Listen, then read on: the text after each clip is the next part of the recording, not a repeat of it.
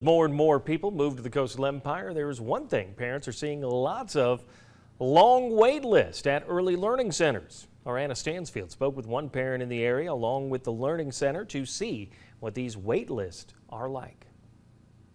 Folks with Thrive Early Learning Center say they understand those frustrations because they went through some of the same things just a few years ago, and that's what led them to opening this learning center. I remember when I was on the parent side of things, which was just three years ago, nobody explained waitlist to me, and I thought, how could you not know when a spot's going to open? Now, Steinhoff sees all that goes on behind the scenes.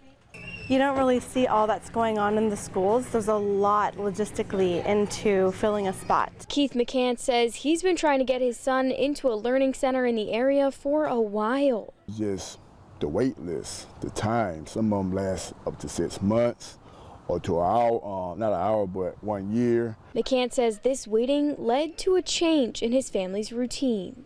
It got to a point where my wife had to pretty much, you know, had to take off from work, basically be home with our son every day. McCann said the waiting also makes him concerned for his son's well-being. I worry, I worry about him getting behind as far as development his social skills with other kids. Something that Steinhoff says is not an unfamiliar feeling to her.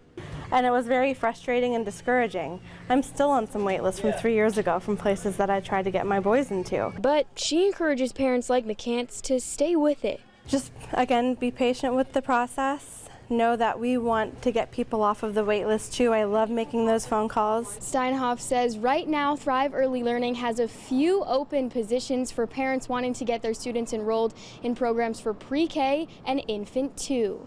Reporting in Richmond Hill, Anna Stansfield, WTOC News.